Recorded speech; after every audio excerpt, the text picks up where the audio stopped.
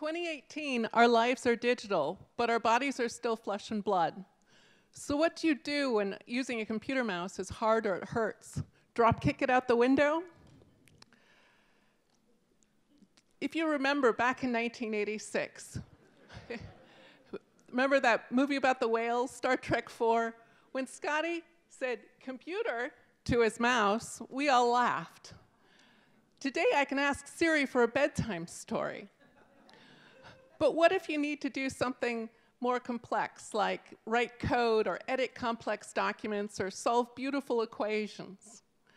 Assistive technologies like voice recognition easily fall down. Back in the year 2000, I was lucky to be a PhD student at Stanford's Marine Station, Monterey, which happens to be next door to the Monterey Bay Aquarium where Star Trek 4 was filmed. I wanted to throw my mouse out the window. Fortunately, I threw it on the floor and did not hit any of the photogenic megafauna. I've now moused with my toes for 18 years, and I'd like to teach you. So, how to mouse with your toes? it's really easy. First, set both buttons to be a left click, so you can just stomp on it. You don't have to differentiate just for a little while while you're learning. You'll quickly get the hang of it. You can set both back. Next, take your socks off. You need to stick to the mouse a little bit. Next, throw it on the floor. Feels great. And finally, stomp on your mouse and you're off and running. So as you get better at it, you're going to want to enhance your mousing. So first, ergonomics. You're going to want to observe 100% superior ergonomics. So you want to lower your chair so that you have a right angle between your left knee and the floor. And you have a right angle with your arms, as the picture shows. So once you've got ergonomics set, you're going to want to reduce large motions because if you've got two monitors, you can't pick up your mouse to move it all that distance. So one monitor you want a fabric mouse pad to have some friction so you've got a little bit of resistance. You want to have your laptop closed so you aren't tempted to forget what you've learned and use your trackpad.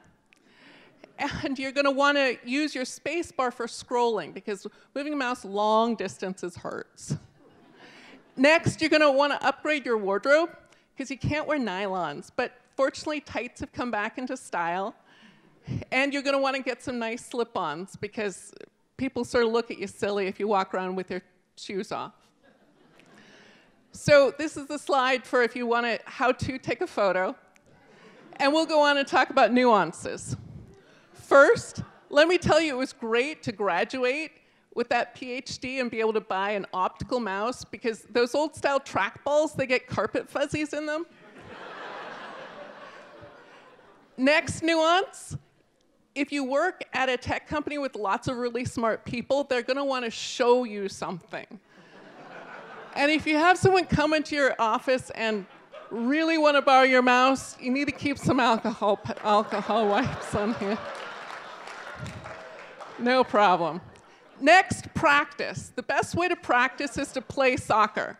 If you can steal a soccer ball from a kid, you can mouse with your toes. Unfortunately, I lost this one to my nephew, Eli. Next, you're going to have extra time in your day. If you're taking your hand off your keyboard to go grab your mouse about once a minute, you're losing 16 minutes a day. That's like two snooze buttons. and you'll have extra time to draw art with your toes. That's my mom's bird. She really liked the hummingbird talk earlier.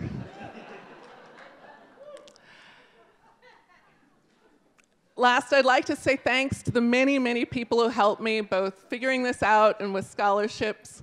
And a final reminder from one of those people who helped.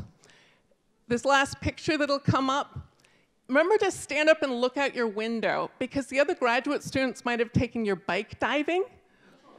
Fortunately, they gave it a, a life preserver they wanted to do wheelies underwater. So look out your window, not just throw your mouse. Thank you. Bye.